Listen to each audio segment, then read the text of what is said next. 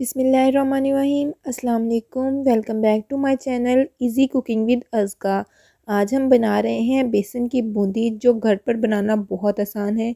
झटपट सी रेसिपी है। बस आपको कुछ ट्रिक्स और टिप्स को फॉलो करना है। मैं ना सिर्फ़ आज आपको बेसन की बूंदी बनाना सिखाऊँगी, बल्कि आपको ये भी बताऊँगी कि हम इसको स्टोर कैसे कर सकते हैं। जैसे कि रमज़ान शरीफ आ रहा है तो आप इसको बनाकर स्टोर करें। ये जल्दी ख़राब नहीं होती। बहुत मज़ेदार सी, बहुत झटपट सी रेसिपी है। ज़रूर ट्राई कीजिएगा। अगर आपको हमारी ये रेसिपी पसंद आए तो हमारे चैनल को लाइक करें सब्सक्राइब करें और शेयर करें। सब्सक्राइब के साथ का बेल आइकन दबाना मत भूलें। इससे आपको हमारी नई आने वाली रेसिपी का नोटिफिकेशन सबसे पहले मिल जाएगा। तो चलें, इस मज़ेदार सी रेसिपी को बनाना शुरू करते हैं। मैं एक बाउल लूँगी, उसके अंदर दो कप बेसन का शामिल करूँगी। मैं मयरिंग कप वाले दो कप इस्तेमाल कर रही हूँ। आप घर के नॉर्मल कप को भी यूज़ कर सकते हैं। अब मैं एक कप पानी का लूँगी, सारा आपने इकट्ठा शामिल नहीं करना थोड़ा थोड़ा डालकर हैंड विस्क की मदद से आपने इसको अच्छे से विस्क करते रहना है और थोड़ा थोड़ा पानी डालते रहना है। इसकी कंसिस्टेंसी मैं आपको बताऊँगी कि कैसी होनी चाहिए। हमने ये देखिए थोड़ा थोड़ा पानी डाला, अच्छे से इसको फेंटते रहेंगे। अच्छे से आपने इसको फेंटना है। सारा काम यही है कि आपने कितना अच्छे सा बैटर बनाना है। जितना अच्छा आपका बैटर तैयार होगा, उतने ही अच्छी आपकी बूंदी बनकर रेडी होगी। ये देखें, मैंने एक पूरा कप तकरीबन डाल लिया है। अब फिर इसे फेंटते जाएँगे। अच्छे से आपने फेंटते ही जाना है। मैं आधा कप और पानी का लूँगी क्योंकि मुझे अभी कंसिस्टेंसी इसकी गाढ़ी लग रही है। थोड़ा सा पानी मैं डालूँगी और और अच्छे से फिर इसको विस्क करेंगे। थोड़ा थोड़ा करके आपने डालते जाना है और अच्छे से विस्क करते जाना है। बहुत मज़ेदार सी बूंदी हमारी बनकर रेडी होगी, ज़रूर ट्राई कीजिएगा। हमें कमेंट सेक्शन में ज़रूर बताएँ कि आपको हमारी ये बूंदी की रेसिपी कैसी लगी। मैंने दो कप बेसन के अंदर सवा कप पानी का इस्तेमाल किया। ज़रूरी नहीं है कि आपको सवा कप ही इस्तेमाल हो, आपका कम या ज़्यादा हो सकता ये बैटर की कंसिस्टेंसी पर डिपेंड करता है। देखिए, अच्छे से विस्क हो चुका है। अब मैं डालूँगी हाफ़ टी स्पून सॉल्ट यानी नमक। अच्छे से इसको भी मिक्स कर लेंगे अंदर। अब आपने बैटर को अच्छे से विस्क करते जाना है। इतना कि बैटर का जो कलर है वो लाइट हो जाए। ये देखें लाइट हो चुका है। देखें, इस कंसिस्टेंसी का आपका बैटर होना चाहिए। अब मैं आपको बताती हूँ कि आपको कैसे पता चलेगा कि हमारा बैटर रेडी है कि नहीं। आपने एक चम्मच लेना है। चम्मच को इसके अंदर डिप करना है। तो ये देखें, एक मोटा सा कोट होना चाहिए। इस टाइप का कोट होना चाहिए। ठीक है, ज़्यादा बारीक नहीं होना चाहिए। और आपने पानी के अंदर डाल के देखना है। तो ये देखें, ये पानी के अंदर एक ड्रॉप जाते ऊपर ये फ्लोट करना शुरू हो गया। तैरना शुरू हो गया है। तो मतलब आपका बैटर बिल्कुल रेडी है। जब आपका ऊपर बैटर तैरना शुरू हो जाए मतलब आपका बैटर रेडी है, ये देख, देखिए आप किसी भी चम्मच की मदद से बना सकते हैं। ये देखिए मेरे पास ये तीन तरह के चम्मच है।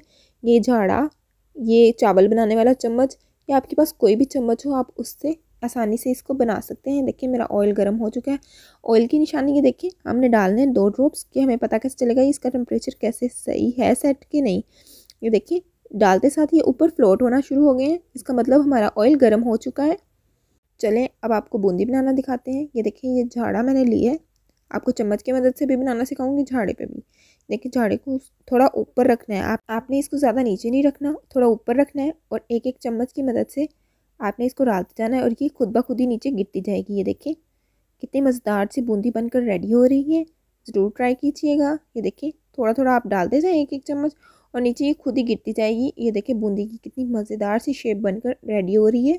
अब मैं थोड़ा सा इसको हिला लूँगी। ये देखिए चम्मच की मदद से आप थोड़ा सा हिला दें। ये बहुत जल्दी से बनकर रेडी हो जाती है। थोड़ा सा इसका कलर आ जाए, फिर अब हम इसको निकाल लेंगे। ये देखें कितना खूबसूरत सा गोल मटोल सी हमारी बूंदी बनकर रेडी हो रही है। ये तीन से चार मिनट में तैयार हो जाती है। देखिए तैयार हो चुकी है। अब मैं इसको छान कर अपनी प्लेट में निकाल लूँगी। ये देखिए सारी को अच्छे से छान के प्लेट में निकालेंगे अब दूसरी बार भी इसी तरह बना लेंगे। झाड़े को थोड़ा ऊपर रख के और इस तरह थोड़ा थोड़ा बैटर डालते जाएँगे और वो हमारी जो गोल गोल गोल मटोल सी बूंदी है वो बनकर रेडी हो जाएगी। इस तरह सारी बना लेंगे। ये देखें, माशाल्लाह माशाल्लाह, कितनी मज़ेदार सी बूंदी हमारी बनकर रेडी हो चुकी है। सारी निकाल लेंगे प्लेट के अंदर। अब मैं आपको चावल बनाने वाले चम्मच से भी बनाना सिखाती हूँ कि उससे भी आसानी से आप बना सकते हैं। बहुत झटपट से बनकर रेडी हो जाती है। ये देखें ये देखिए चावल बनाने वाला चम्मच लेकर मैंने उसको थोड़ा सा ऊपर रखा और चम्मच की मदद से इसके ऊपर डालती गई। तो ये देखिए कितनी माशाल्लाह खूबसूरत सी गोल मटोल सी वाली बूंदी बनकर रेडी हो रही है।